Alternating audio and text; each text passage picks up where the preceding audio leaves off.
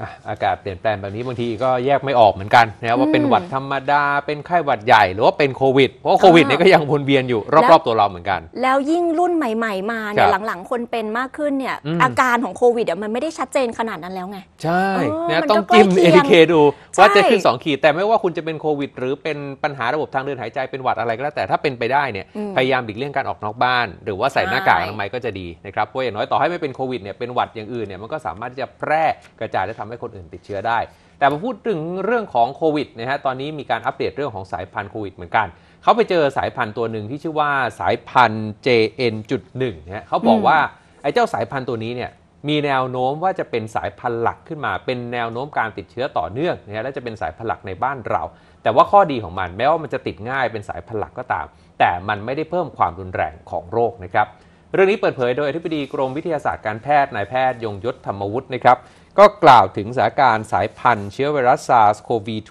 หรือว่าโควิด -19 เนี่ยนะฮะ ปัจจุบันทาง WHO เนี่ยยังให้ความสำคัญกับการติดตามสายพันธุ์ของโอมิครอน ก็คือตัวลูกๆของโอมิครอนเนี่ย10สายพันธุ์ ใน 10 สายพันธุ์เนี่ยเป็นกลุ่มที่เรียกว่าเฝ้าระวังเนี่ย5สายพันธุ์5 สายพันธุ์ที่ว่ามี XBB.1.5 ตามที่ขึ้นหน้าจอฝั่งซ้ายนะฮะ XBB.1.16 EG.5 BA2.86 แล้วก็ตัวสุดท้ายที่พูดถึงกันก็คือ JN.1 เนี่ยอันนี้เป็นกลุ่มสายพันธุ์ที่ต้องเฝ้าระวัง แล้วก็จะมีอีกกลุ่มหนึ่งเรียกว่าสายพันธุ์ที่ต้องจับตามอง กลุ่มนี้ก็ 5 สายพันธุ์เช่นเดียวกัน ก็คือฝั่งขวา DV.7 XBB XBB.1.9.1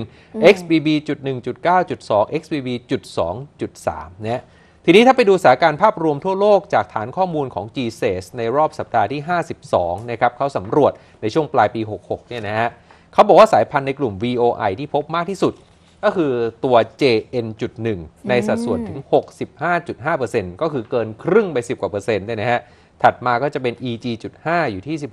16.6%โดย EG.5 เนี่ยเขาบอกว่าจะเจอค่อยๆ ลดน้อยถอยลงไป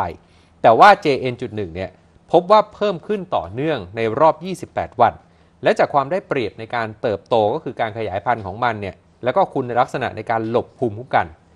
มีแนวโน้มและเป็นไปได้ครับว่าเจ้า JN.1 เนี่ยจะมีจำนวนผู้ติดเชื้อสายพันธุ์นี้เนี่ยเพิ่มมากขึ้น แล้วอาจจะกลายเป็นสายพันธุ์หลักในระดับประเทศหรือทั่วโลกก็ได้ค่ะแต่ข้อดีของมันอย่างที่บอกไปตอนต้น ก็คือว่าแม้ว่าจะติดง่าย แต่ว่ามันไม่ได้เพิ่มความรุนแรง เราเคยอืมพัก4 5วันหายโอเค มันก็ยัง4 5วันหาย ไม่ได้ว่าจะจาก4 5วันกลายเป็น 10 วัน ไม่ได้ว่าต้องล้มหมอนนอนเสือต้องเข้าโรงพยาบาลอะไรอย่างนี้ สำหรับสายพันธุ์เจนจุดหนึ่งในประเทศไทยก็มีแนวโน้มเพิ่มมากขึ้นนะครับและคาดว่าน่าจะกลายเป็นสายพันธุ์หลักที่ระบาดในปัจจุบัน ในไทยตอนนี้เจออยู่ประมาณ